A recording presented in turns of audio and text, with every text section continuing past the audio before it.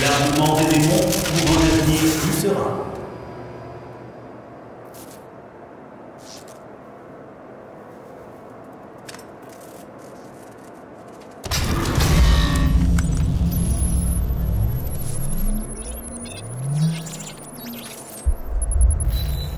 Intrusion des manières détectée.